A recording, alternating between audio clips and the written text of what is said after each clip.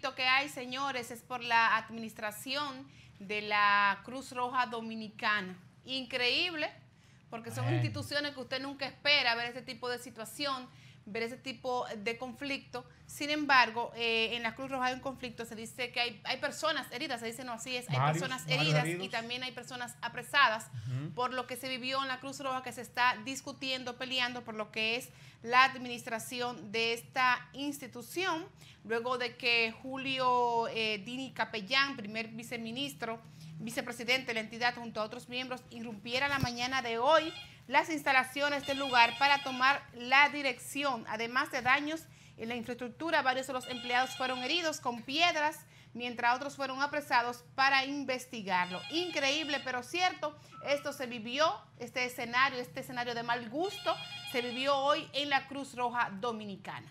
Saludos, buenas. Saludos. Hola. Sí. sí, adelante, buenas tardes. Está en el aire. en el aire, adelante.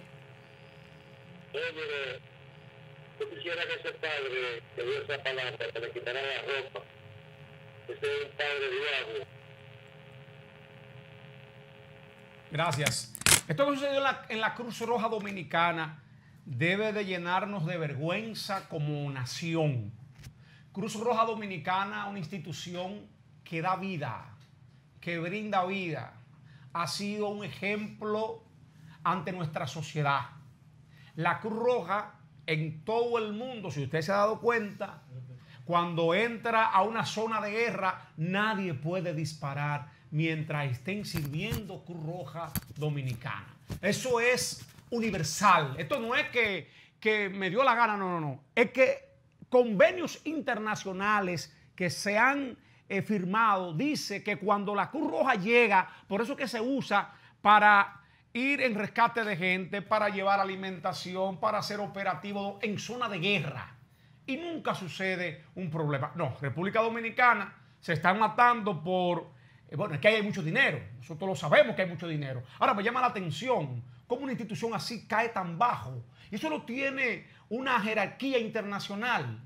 Un consejo, ¿verdad, Mello? Así como tú dijiste, y que pueda poner costo a lo que está sucediendo. Señores, pero cuando yo vi la noticia dándole golpe a un señor, después salió uno con sangre, yo dije, se está acabando el mundo. Cruz Roja peleando. No, no, ya se acabó el mundo.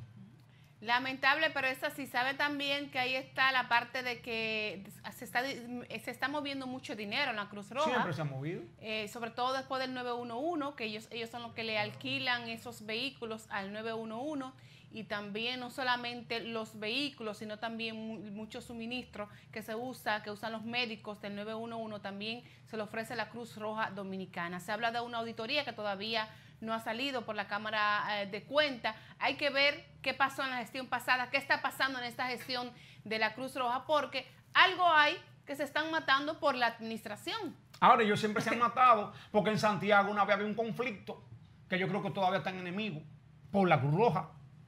Por la Cruz Roja. Un problema serio hace ya unos añitos. Eso ha estado un poco tranquilo, pero sí, siempre hay su, su viejo conflicto interno, pero este salió ya a la luz pública y... No, es bastante fuerte. Y arma de fuego. Yo vi armas y habían militares, policías ahí como que, como que debieron actuar, no sé qué pasó. ¿Sabes que aquí a veces las autoridades, las policías se vuelve como torpe ante ciertas situaciones?